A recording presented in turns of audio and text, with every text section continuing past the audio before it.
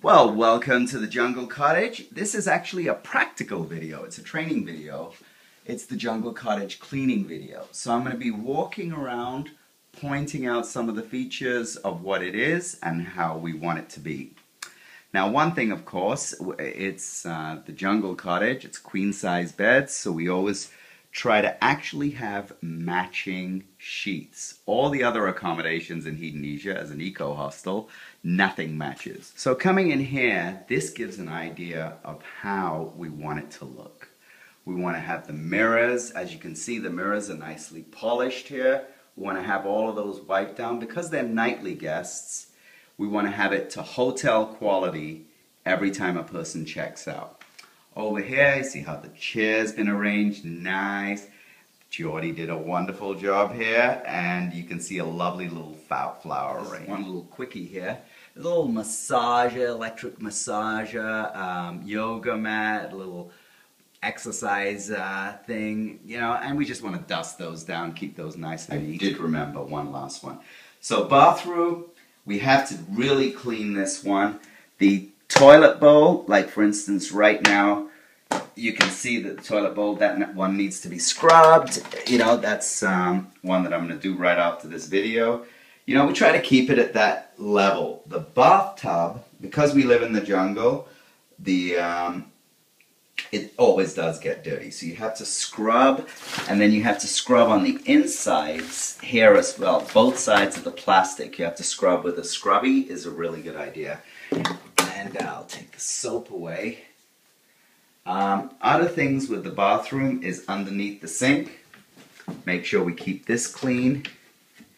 Keep this nice and clean and ordered. There's uh, the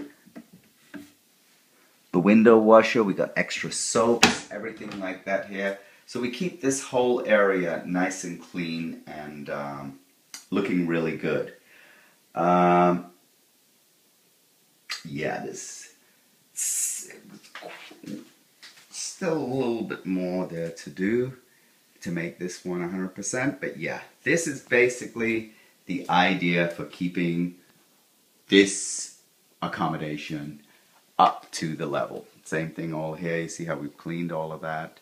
And I think spot right here is uh, the mirrors. Same thing. We want to always keep those nice and polished um, to wipe those down on the inside. The couch, we check to, to make sure that there's no stains. Moving over here, see, lovely little flower arrangement. At the end of every checkout, the flowers are usually pretty moldy and old, so we let them go. And the nice touch is to have a fresh set of flowers for the new person when they come in. And we usually have one of the uh, travel magazines for the Big Island in the area, so they've got convenient magazine to read. Looking out of the view of the window, this is one important thing, and I'm actually just going to point it out from here.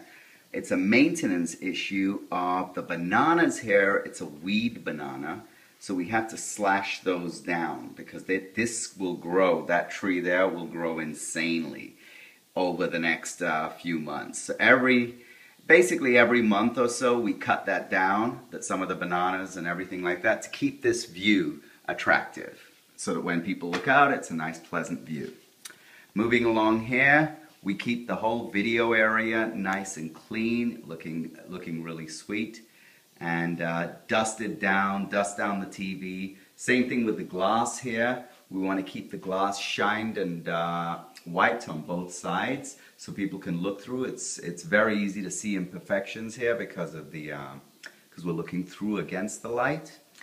Uh, moving along here, same thing, these windows. Spider webs tend to go right in these corners here, right up in here. Those are the crazy spaces where it goes. So we want to wipe all those little corners down and uh, vacuum in the grooves there. That's where insects like to gather and play. This is all, we call it the Tantra Lounge. It's classy, it's nice, but when we bought it, it did have a bit of a mold stain right there something we want to keep wiping and cleaning. Moving into the kitchen, now there's a few things that need to be organized here still, so I'll, I'll just point out. Coffee, it's what, what's nice is that it's set up right now so that everything is organized nicely. So you can see how the, dishes are arranged in the, in the wall. That's very attractive, looks very symmetrical, very beautiful like that. But little things like, you know, the rags, the cleaning rags that have been um, left, we want to make sure we take all the clutter away. Same thing with, we use toothbrushes for cleaning in the corners. And toothbrush is especially like in this area. It's uh, in the sink. We, we would use it in there to just clean out any mold and everything like that to make sure it looks um, really nice and polished. Water stains, the, the water here does leave a little bit of a chlorine stain, so you do have to wipe down the sink dry afterwards for it to look good. Same thing, we want to put away all the dishes so that everything looks nice and clean. And the dish tray itself, we can give that a scrub every Compost, we have to take out the compost. That is very important because if the compost is ever left, it turns to insane bacteriological. Continuing right along, the fridge. This is one of the important ones. We want to clean this properly. Make sure that there's any old food or anything like that all taken out. You can see here, this would all have to be removed.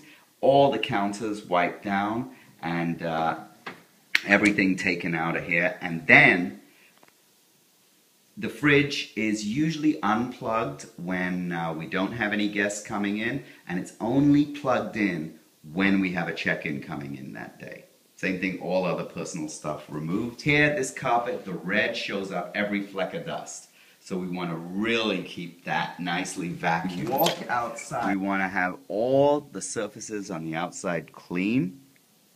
Uh, slippers, personal stuff, and all that stuff. We moved all of those things away and we sweep the floor. You can see that even if no one's occupying the place, dust, leaves, things like that kind of blow their way in. So it does still require um, an, a little extra. Basically, it's, there's always that little once over or that touch up before a guest comes in. Hammock, we always check to make sure that's good, that the that the actual things work, you know, working and everything like that. We always make sure that the, the, the couch, the cushion is underneath the hammock. So that way, if it ever does break, there's a little uh, safety feature for people. And then over here, the pond, we want to make sure the pond looks nice, attractive. Take out, we don't want to have more than 50% cover of uh, the water lilies. We always try to weed out enough so that there's 50% or less in terms of uh, um, lily coverage. Otherwise, the fish are not really happy with We that. try to keep one hose here because it's an emergency for watering plants and maintaining and filling the pond if there's any issue. But we try to make sure that the hose doesn't go in the road. Because if it goes in the road, then the cars drive over it and break the hose. Around here, we make sure that the border is weeded, that there's a nice clear pathway, as you can see here, nice and safe to walk on that side, so they can look at the crater that way and you can see it's all weeded. This is how we want it Finally, The recycling containers, we wash those out every time, the recycling and garbage containers. And what we do with those, Andy, if you can take the two brown ones with me, I'm going to go in here, little jungle cottage sign, and moving right in there. So where we put these guys is we put them right in here. The mixed recycling, the cans and bottles, and then we turn the garbage around.